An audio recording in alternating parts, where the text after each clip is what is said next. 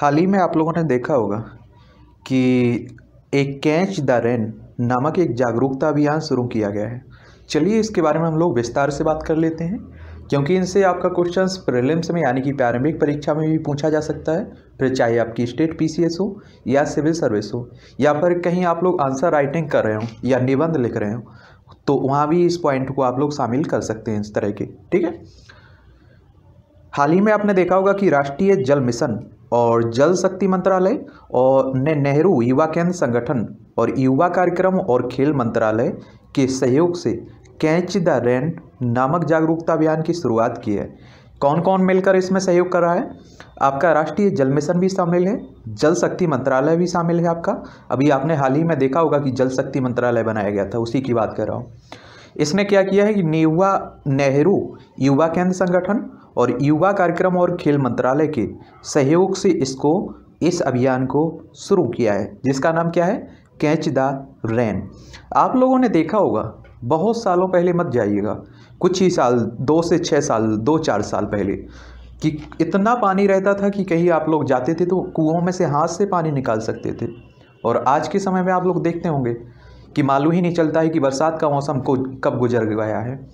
कब बरसात हुई, कब ठंड हुई, कब गर्मी पड़ी, कुछ मालूम ही नहीं चलता है। तो एक तरह से हम लोगों ने पर्यावरण के साथ इतना नुकसान पहुँचाया है, इतना छेड़छाड़ किया है कि उसका भुगतान हम लोगों को करना पड़ रहा है। आप समझ रहे हैं? इसका कई जगह आप लोग सुनते रहते हैं, दिल्ली में खासकर सुनते रहते होंगे, कि सांस लेना भी एक तरह से दुशवार हो चुका है। एक समय देखा करते होंगे आप लोग कि घर से निकलते थे तो चारों तरफ़ पेड़ ही पेड़ दिखाई दिया करते थे। आज ना के बराबर पेड़ दिख रहे हैं। और आप समझिए, जब जंगल नहीं रहेंगे, पेड़ नहीं रहेंगे तो बरसात कहाँ से होगी? तो जब भी आपके यहाँ कोई त्यौहार होता है या कोई आपका बर्थडे होता है, कभी आता है तो आप एक दो पेड़ लगा सकते हैं, ठीक है? मैं नहीं कहता हूँ कि आप लोग पार्टी पार्टी मत करिए करिए आप लोग पार्टी। इसकी जगह आप एक दो पेड़ लगाएँगे तो याद बना रहेगा। जब तक पेड़ रहेंगे, तब तक आपकी याद रहेगी, समझ रहे हैं? तो आप भी सहयोग कर सकते हैं। इसकी टैगलाइन क्या है? बारिश के पानी का संरक्षण जहाँ भी संभव हो, जैसे भी संभव हो, इसे करना। आप लोग समझते होंगे। समझिए आप लोग कि जब वर्षा हो रही है तो उस पानी को आप लोग इकट्ठा कर सकते हैं। या तो ज़मीन में कर सकते हैं तो ज़मीनी जो जल स्तर होगा पानी का, वो ऊपर उठ जाएगा। या फिर आप लोग एक टैंक में से इकट्ठा कर सकते हैं। अब कई लोग कहेंगे कि पानी पीने योग्य नहीं रहेगा, ये ख़राब हो जाएगा। तो कम से कम आपकी जो गाड़ी धुपती है, उसके लिए तो हो सकता है। आप देखते होंगे कि आपके जो एक तरह से कपड़े धुपते हैं, उसके लिए भी तो हो सकता है, पेड़ों के लिए तो डाल सकते हैं आप लोग। पशुओं को तो पिला सकते हैं कि नहला तो सकते हैं कम से कम तो इसका उपयोग आप लोग कर सकते हैं। और ज़्यादा आप लोगों को खर्च नहीं करना है। आप जब भी, आपने देखा होगा कि आपके छत से पानी गिरता है तो उसे भी एक टैंक लगा दीजिए। कहीं इस तरह की व्यवस्था कर दीजिए कि वो धरती में एक तरह से चला जाए रिस रिस के। अभी आप देखते होंगे कि आपके यहाँ बरसात होती है और डायरेक्ट पानी जाकर नदियों में मिल जाता है और नदियाँ इस तरह से बहा कर ले जाती हैं उसे। अगर उन्हें बीच में रोक दिया जाए, कई जगह आप देखते हैं चेक डैम बनाए जाते हैं, तालाब बनाए जाते हैं। इसलिए बनाए जाते हैं कि एक तरह से पानी को रोका जाए और आपकी एक तरह से वहाँ की पानी की जो भी जल स्तर है, उसे उठाया जाए और काफ़ी पानी के लिए सहूलियत हो। वरना आजकल आप देख रहे हैं कि कितने गहरे कुएँ खोदे जा रहे हैं, फिर भी पानी नहीं है देखने को। गहरे गहरे बोरिंग की जा रही, फिर भी पानी नहीं है। तो इसकी टैगलाइन को भी याद रखिए, बारिश के पानी का संरक्षण जहाँ भी संभव हो, जैसी भी संभव हो। सभी स्थितियों के आधार पर जलवायु परिस्थितियों के अनुकूल बारिश के पानी को संग्रहित करने के लिए वर्षा जल संचयन संरचना का निर्माण करना। कहने का मतलब यही किस तरह की कोई संरचना बनाना जिससे वर्षा का जल इकट्ठा हो सके, ठीक है? अभियान के कार्यान्वयन के लिए प्रभावी प्रचार और सूचना और शिक्षा संचार गतिविधियों के माध्यम से ज़मीनी स्तर पर लोगों को शामिल करना। और एक में इसमें ये भी कर सकते हैं, शिक्षा की बात सही की जा रही है, सूचना की बात की सही की जा रही है, संचार की बात बात सही की जा रही है। अब आप सोचिए, समाज को अगर हम लोग जागरूक बनाएँगे, तभी वो जल के महत्व को समझेंगे। इसकी इम्पोर्टेंस को समझेंगे आप लोग। मैं तो कहता हूँ कि बचपन से ही शिक्षा एक तरह से आपकी जो भी बच्चों की शिक्षा होती है, उसमें शामिल कर देना चाहिए इस तरह के टॉपिक महिला सशक्तिकरण की बात करें या गरीबी की बात करें, इस तरह के सभी टॉपिक उसमें शामिल कर देना चाहिए, ठीक है? आप लोग भी काफ़ी इसमें योगदान अपने बच्चों को पढ़ाते रहें, उन्हें इसका जो भी योगदान है बताते रहें। इसमें गतिविधियों की बात करें अगर वाटर हार्वेस्टिंग हेतु गड्ढे बनाना छत पर आर डब्ल्यू एच एस का निर्माण करना और चेक डैम बनाने के लिए प्रोत्साहन करना। कई जगह आप लोगों ने इस तरह की व्यवस्था देखी भी होगी। संचयन की भंडारण क्षमता को बढ़ाने के लिए अतिक्रमणों और टैंकों की सिल्ट को हटाना, पानी के उन चैनलों में से अवरोधक को, रोधों को हटाना जो जल संग्रह क्षेत्रों से पानी की आपूर्ति करते हैं। जल को वापस लाने के लिए पारंपरिक जल संचयन संरचनाओं जैसे कि छोटे कुएँ और गहरे गड्ढे कुओं की मरम्मत करना, जिससे पानी संचित हो सके एक तरह से। अब बात करें जल शक्ति अभियान सेकंड की की तैयारी के एक हिस्से के रूप में नेहरू युवा केंद्र संगठन दिसंबर 2020 से मार्च 2021 तक देश के 623 जिलों में विभिन्न आई गतिविधियों के माध्यम से कैच द रैन जागरूकता अभियान का आयोजन करेगा और आईईसी गतिविधियों में शैक्षिक और प्रेरणादायक कार्यक्रम कार्यक्रम, जन जागरूकता अभियान, दीवार लेखन, बैनर और ई बैनर निर्माण सहित अनेक गतिविधियाँ शामिल होंगी आपकी। राज्यों से प्रत्येक ज़िले में रैन सेंटर खोलने का अनुरोध भी किया गया है, जो सभी के लिए एक तकनीकी मार्गदर्शन केंद्र के रूप में कार्य करेगा। आप समझिए कि अकेले सरकार कुछ नहीं उखाड़ सकती है। अगर स्वच्छ भारत अभियान की बात करें तो मैं सरकार को एक परसेंट केवल उसका एक तरह से श्रेय देता हूँ। बाकी निन्यानवे परसेंट आप लोगों को देता हूँ। क्या करता हूँ? आप लोगों का उसको श्रेय देता हूँ एक तरह से। अगर आप सभी लोगों ने उसमें मिलकर भागीदारी ना की होती तो ऐसी सरकारें कई आई और चली जाती। कोई कुछ नहीं उखाड़ पाता। अगर स्वच्छ भारत अभियान सफल हुआ है तो आप लोगों की बदौलत। तो एक तरह से आप लोग योगदान नहीं करेंगे। जब भी आपने देखा होगा, हमारे प्रधानमंत्री साहब एक भाषण देते हैं कि 121 करोड़ जनसंख्या, जब एक एक कदम बढ़ेगी तो 121 करोड़ हमारा भारत आगे बढ़ जाएगा। आजकल वो 131 करोड़ कहने लगे, ये अलग बात है, ठीक है? इसके महत्व की बात अगर हम बात करें इम्पोर्टेंस क्यों है? जल संरक्षण और वर्षा जल संचयन पर ध्यान देने की आवश्यकता पर ज़ोर देने से युवा जल के महत्व को समझ सकेंगे।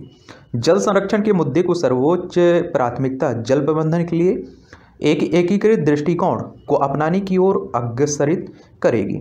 शून्य अथवा केवल सीमित पानी को परिसर से बाहर निकालने का विचार मिट्टी की नमी और भूजल स्तर में सुधार करने में मदद करेगा। शहरी क्षेत्रों में या सड़कों पर होने वाले जल भराव जो कि सड़कों की क्षति पहुंचाता है, को कम करेगा और शहरी बाढ़ को रोकने में सहायक भी होगा। एक बात और आप लोगों को बताऊँ। हम लोग जल के महत्व को नहीं समझते हैं। कभी आपको जल के अगर महत्व को समझना है तो बुंदेलखंड और बघेलखंड के कुछ हिस्सों को याद करिए, जहाँ पीने के लिए आपको मालूम होना चाहिए कि महिलाएँ दो से तीन किलोमीटर दूर दूर तक जाती हैं पानी लेने के लिए। तब आपको समझ में आएगा पानी का महत्व। या फिर आप लोग एक दिन के लिए सोचिए कि आपके यहाँ पानी नहीं आ रहा है नल से। आपका टंकी भी आपकी खाली हो चुकी है। तब हम एक गिलास भी देखते हैं कि काश मिल जाए मंजन भी कर लें हम लोग। समझ रहे हैं? और जब पानी रहता है तो हम नल खुला छोड़ देते हैं मंजन करते रहते हैं घंटों। पानी बर्बाद होता रहता है। तो कम से कम पानी के इतना तो महत्व समझना चाहिए। ऐसा ही बिजली का है। आप लोग घर से निकल रहे हैं तो पंखा, अपना जो भी जो भी बल्ब लगा हुआ है C F L L E D जो भी लगा हुआ है, उसे बंद करके चला जाए। क्या फ़र्क पड़ता है? समझ रहे हैं आप लोग? आगे बात करते हैं। जल संरक्षण हेतु उठाए गए कुछ और कदम भी हैं। इन्हें भी आप लोग याद रखिए। महात्मा गांधी राष्ट्रीय ग्रामीण रोज़गार गारंटी अधिनियम। इसका उद्देश्य भूजल संचयन में सुधार, जल संरक्षण और भंडारण तंत्र का निर्माण करना और इसने सरकार को अधिनियम के तहत परियोजना के रूप में जल संरक्षण की शुरुआत करने में सक्षम बनाया है। अगर आंसर राइटिंग लिखने के लिए आती है, अगर आंसर लिखने के लिए आता है तो इस तरह के आप कदम भी मतलब जो भी सरकार ने उठाए हैं, इन्हें भी आप उसमें डाल डाल सकते हैं। जल क्रांति अभियान, यह ब्लॉक स्तरीय जल संरक्षण योजनाओं के माध्यम से गाँवों और शहरों में क्रांति लाने के लिए किया गया एक सक्रिय प्रयास है। उदाहरण के लिए इसके तहत शुरू की गई जल ग्राम योजना का उद्देश्य जल संरक्षण और परिरक्षण हेतु जल की कमी वाले क्षेत्रों में दो मॉडल गाँव को विकसित करना है। मैंने बार बार आप लोगों से कहा है कि अगर हमारे सरपंच साहब अच्छे से काम करने लगें तो मैं इतना गारंटी से कह सकता हूँ कि नब्बे से पंचानवे परसेंट समस्याएँ ख़त्म हो सकती हैं। गाँव में इतनी, जंगल में इतनी ज़मीनें पड़ी हुई हैं, वहाँ भी तो आप लोग चेक डैम बना सकते हैं इस तरह के डैम, पानी इकट्ठा करने के लिए। आप समझ रहे हैं? लेकिन सरपंच साहब को अपना विकास करने से फुर्सत मिले, तब तो वो आप लोगों का विकास करें। समझ रहे हैं आप लोग? पर आपने सुना होगा कि राष्ट्रीय जल मिशन, इसका उद्देश्य एकीकृत जल संसाधन विकास और प्रबंधन के माध्यम से जल का संरक्षण करना अपव्यय को कम करना और राज्यों के बाहर तथा भीतर जल का अधिक समान वितरण सुनिश्चित करना है। नीति आयोग के समग्र जल प्रबंधन सूचकांक, इसका उद्देश्य जल के प्रभावी उपयोग के लक्ष्य को प्राप्त करना है। ठीक है? जल शक्ति मंत्रालय तथा जल जीवन मिशन। तो इसके बारे में अगर बात करें तो जल शक्ति मंत्रालय का गठन जल के मुद्दों के से समग्र रूप से निपटने के लिए किया गया था। और जल जीवन मिशन का लक्ष्य वर्ष 2024 तक सभी ग्रामीण घरों में पाइप द्वारा जलापूर्ति सुनिश्चित की जाएगी। कुछ समय पहले आपने सुना होगा कि गोवा में ऐसा हो, हो भी गया है। ग्रामीण क्षेत्रों में हर नल से एक तरह से घर घर पानी पहुँचने लगा है। ठीक है? अटल भूजल योजना की बात अगर हम लोग करें तो यह है जल उपयोगकर्ता संघों, जल बजट, क्या है? जल बजट ग्राम पंचायत ग्राम पंचायत वार्ड जल सुरक्षा योजनाओं की तैयारी और कार्यान्वयन के माध्यम से सामुदायिक भागीदारी के साथ भूजल के स्थायी प्रबंधन हेतु केंद्रीय क्षेत्र की एक योजना है। क्या? अटल भूजल योजना। पर आपने देखा होगा, जल शक्ति अभियान। इसकी शुरुआत जुलाई 2019 में देश में जल संरक्षण और जल सुरक्षा के लिए एक अभियान के रूप में की गई थी। आप लोगों ने यह भी सुना होगा कि अब अब जो तीसरा विश्व युद्ध होगा ये होगा जल को लेकर भी हो सकता है। समझ रहे हैं आप लोग? इतना महत्वपूर्ण एक तरह से स्थान आपके ये जल का हो चुका है। और वो कहते हैं ना, बचपन से आप लोग एक कविता पढ़ते आ रहे हैं, जल, मछली, जल की रानी है। वो उसी तरह से आप समझिए, एक दिन हमारा भी यही खेल होने वाला है। आज आप देखते होंगे कि एक बोतल आप लेते हैं तो पच्चीस रुपये की मिलती है रेलवे स्टेशन, कहीं आप जाते होंगे। समझ रहे हैं? और भी महँगी मिलती है, लेकिन नॉर्मल बात कर रहा हूँ मैं। तो आप समझिए कि बोतल में बिकने लगा है। आने वाले समय में क्या क्या हो सकता है, आप अंदाज़ा नहीं लगा सकते हैं।